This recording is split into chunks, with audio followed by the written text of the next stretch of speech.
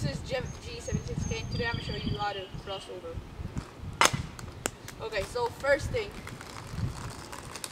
when you cross over, it's important that if it really goes over the other, is while skating, it does something like this. And you gotta put your weight on the inside so you can make a good cross over.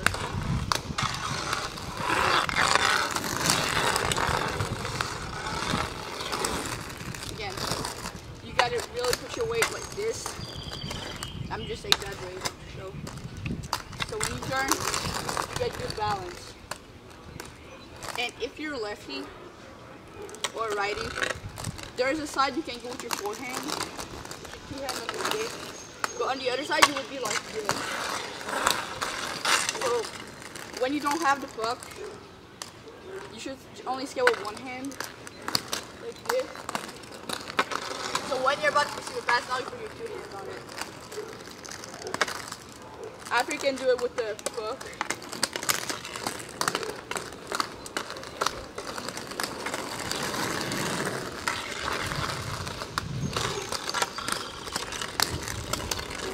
And when you go with a puck on the your your. So this is it for please subscribe for more.